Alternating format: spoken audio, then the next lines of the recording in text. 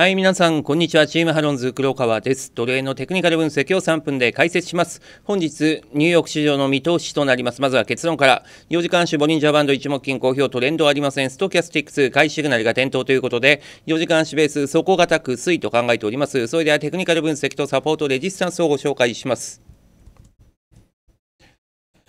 はい、4時間足ボリンジャーバンド、トレンドの方向性示す赤い点線21本移動平均線真横を向いております。4時間足ボリンジャーバンドトレンドレスということです。4時間足ストキャスティックス新たな買いシグナルが点灯しております。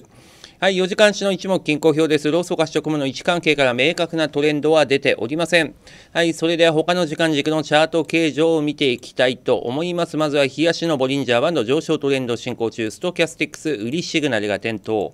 はい、8時間足ボリンジャーバンド上昇トレンド進行中、ストキャスティックス売りシグナルが点灯。はい、こちら2時間足ボリンジャーバンド下落トレンドの形状、ストキャスティックス売りシグナルが点灯。はい、60分足ボリンジャーバンド下落トレンド進行中、ストキャスティックス買いシグナルが点灯。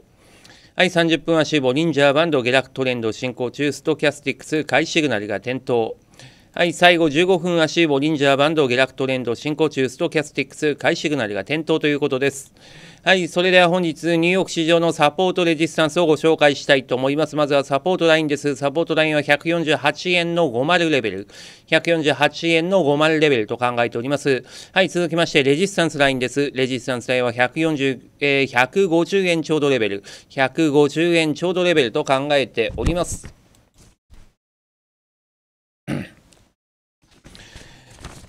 はい。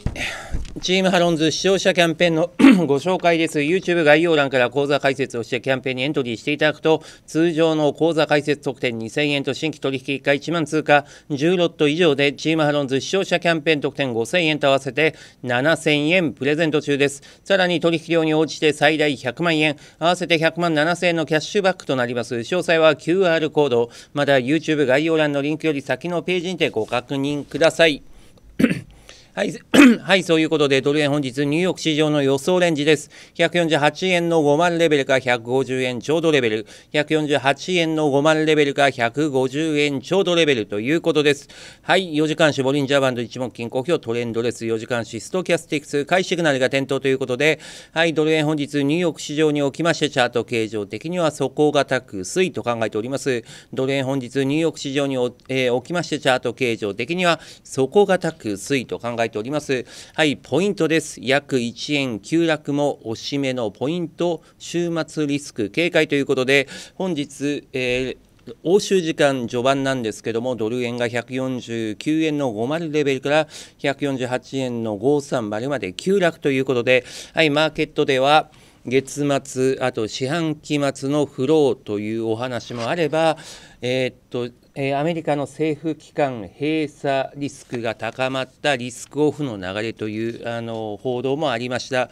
まあ、ちょっとどちらか分かりませんけど、ドル円は約1円急落ということで、はい、ちなみになんですけども、アメリカ議会が10月1日に新会計年度が始まる前に暫定予算を成立させなければ、連邦政府機関が閉鎖に追い込まれるということで、はい、民主党が主導する上院と共和党が主導する下院で、まあ、つなぎ予算処置の概要について依然として大きな隔たりがあるということで、はい、政府、えー、機関閉鎖観測が高まっております。はい、続きまして、通貨強弱と板情報ということで、まずは左手、ボラティリティツール2時間足ベースということで、一番強い通貨5ドル、その次ユーロ、その次円、その次ポンド、最弱通貨が米ドルとなっております。はい、続きまして、右手側、えー、外貨ネクストネオのお客様の板情報です。はい、149円の20、149円30、35、40、はい、えー、売り注文たまっております。ストップ注文につきましては149円の丸5、あとは149円10、149円40にストップ注文たまっております。はい、買い注文につきましては148円85で148円50に溜まっております。ストップ注文は148円85555040に溜まってきております。お取引をされる際には十分ご注意ください。はい、さらに本日ニューヨーク時間なんですけど21時30分 PC コアデフレートアメリカの重要な経済指標の発表もありますし先ほどご紹介した